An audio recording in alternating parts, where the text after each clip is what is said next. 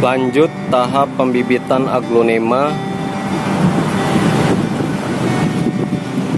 Sekarang tahap pembuatan media tanamnya. Media tanam paling recommended humus daun bambu di mix dengan menggunakan sekam bakar dan sekam mentah yang sudah difermentasi. Saksikan di YouTube saya guys. Several days later. Assalamualaikum sahabat. Selamat pagi. Semoga kita semua sejahtera diberikan kesehatan.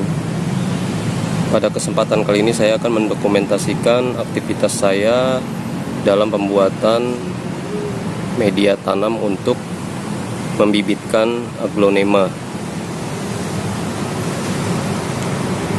Sekarang sudah masuk musim penghujan Jadi kita harus membuat media tanam yang sangat poros untuk aglonema agar akar aglonema tidak busuk terkena hujan deras.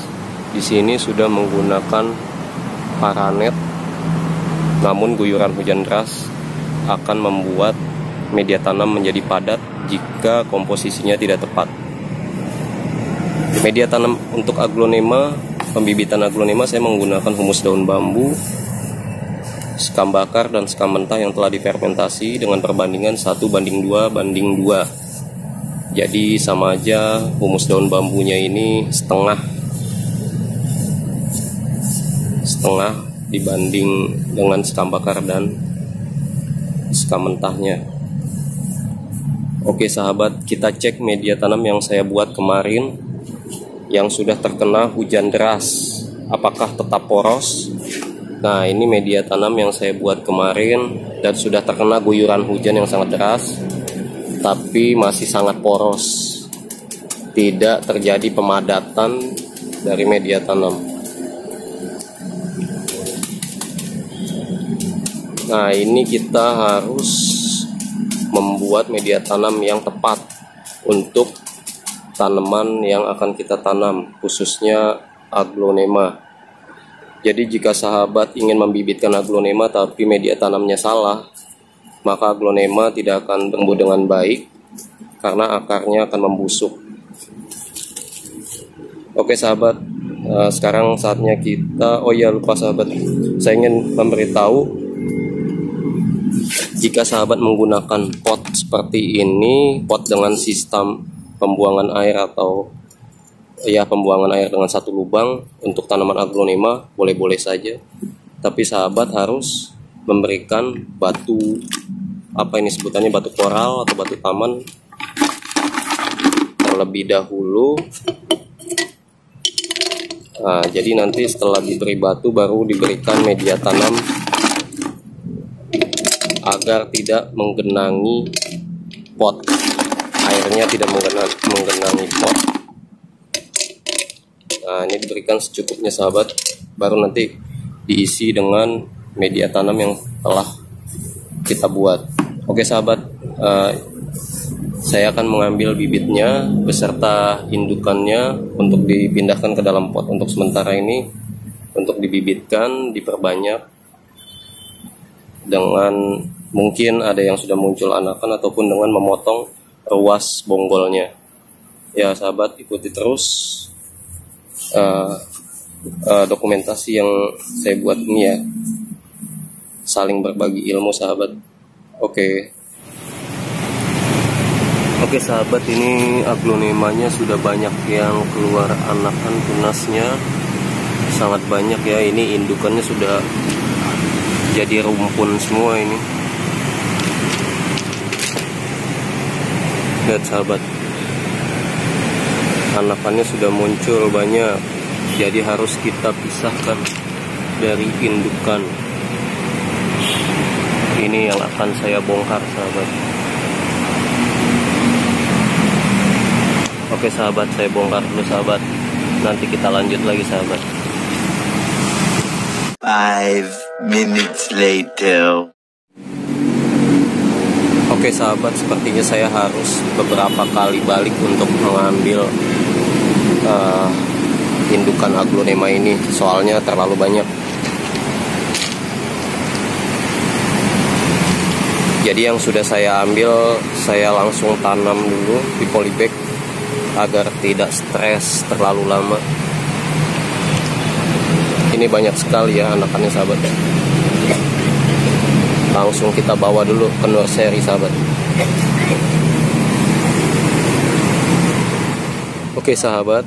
Ini tanaman aglonemanya sudah ada di nursery sudah saya cuci akarnya dan sudah ada beberapa bagian yang saya potong lepas dari indukan. Nah sebelum kita tanam ada baiknya kita menggunakan root up. Root up ini hormon ya sahabat ya untuk uh, melindungi luka bekas potongan akar yang terpotong.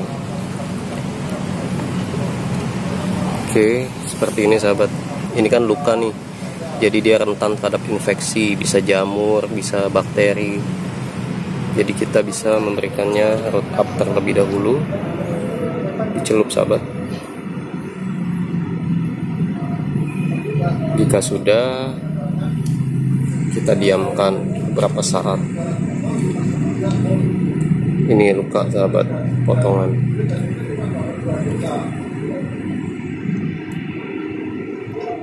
Sepertinya saya kurang banyak ini sahabat menyiapkan media tanamnya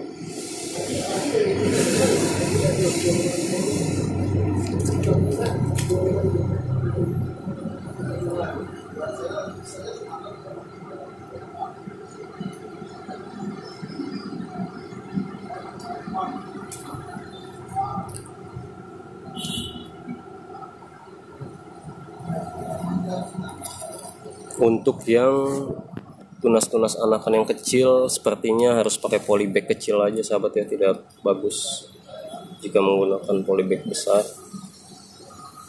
Nah jika ada yang seperti ini sahabat ini sudah muncul tunas anakan dari bonggolnya tapi ini ada calon tunas lagi calon tunas anakan tunas daun. Jadi kita nanti akan memotong di bagian ini potong di bagian ini ini bisa kita menjadi tiga bagian. Kita celup aja dulu. Kelarutan. Root up hormon hormon bagus hormon pertumbuhan akar. Bisa untuk cangkok dan stek. Dan juga luka pada akar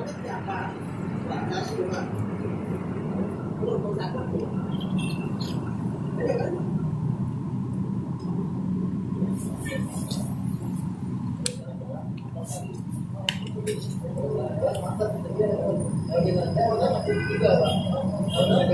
sahabat saya akan menyiapkan sambil menunggu ini uh, didiamkan selama 10 menit atau kurang kurang lebih 15 menit. Saya akan menyiapkan media tanam di polybag kecil saya sahabat nanti saya lanjut lagi oke sahabat 15 minutes later.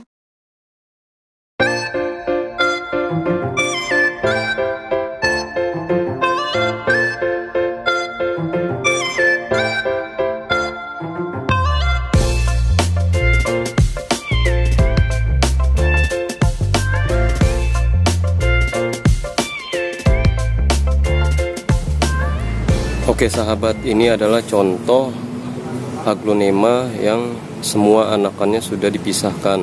Jadi ini indukan aglonema di mana anakannya sudah pisah semua ya. Nah, kenapa seperti ini sahabat? Jadi kalau misalnya indukan ini di bagian atasnya tidak memiliki akar, sahabat jangan ragu untuk mengelupas tangkai daunnya. Ini tadi seperti ini sahabat ya. Ini tadi banyak tangkai daunnya. Lihat sahabat di sana. Sudah saya buang semua ya. Tangkai daun yang sudah mengeluarkan akar kita kelupas. Jadi nanti indukan aglonema ini akarnya akan mudah untuk menjalar ke bagian media tanah ya. Kalau misalnya masih ada masih tertutup tangkai daunnya. Aglonema indukan ini agak kesulitan untuk keluar uh, akarnya untuk menemui media tanah. Jadi kita kelupas kelopak daunnya. Maka akan muncul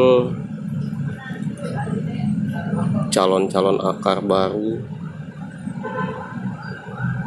Nah ini sudah bisa kita tanam ya sahabat ya indukannya. Sudah lepas semua dari uh, sudah kita pisahkan anakannya. Itu ada beberapa yang sudah saya tanam. Selebihnya masih dalam perendaman cairan hormon perangsang akar ya. Oke sahabat saya tanam dulu ya. One hour later. Ya sahabat ini tahap pertama pembibitan aglonema. Kurang lebih totalnya 1 2 3 4 5 6 7 8 9 10 11 12 13 14 15 15 sahabat. 15 polybag di mana bibitnya sudah muncul daun. Dan kurang lebih bonggolnya itu saya dapat 8 polybag kecil sahabat. Nah sekarang saya mau tahap kedua saya pindah dari planter box yang tadi. Ini tahap kedua sahabat. Akhirnya saya pakai root up. Di dalam ember saja biar cepat. Nah ini media tanamnya. Semoga cukup. Nanti kalau kurang ada lagi. Saya buat lagi ya. Nah langsung ya sahabat. Ini saya tidak tahu akan jadi berapa polybag. Rumpunnya sangat banyak. Oke sahabat tunggu kelanjutannya sahabat ya. Saya ingin menanam dulu. Two hours later. sahabat nah, selesai juga pembibitan aglonema saya. Total semuanya yang awal tadi 15 nah tadi dapat keseluruhannya 17 buah yang sudah berdaun. Jadi total yang saya bibitkan menghasilkan 32 bibit aglonema baru. Di sini turun hujan sahabat. Jadi itulah pentingnya kenapa kita membuat media tanam untuk aglonema tuh yang sangat poros. Jadi agar di musim hujan akarnya tidak membusuk Oke sahabat demikianlah dokumentasi aktivitas saya hari ini Sampai ketemu lain waktu dengan tanaman-tanaman yang berbeda Tentunya saya uh, dengan senang hati membagikan ilmu yang saya dapat sahabat Ya ikuti terus konten-konten dari channel saya sahabat Jangan lupa di subscribe, like, share, and komen ya Terima kasih sahabat. Sampai jumpa.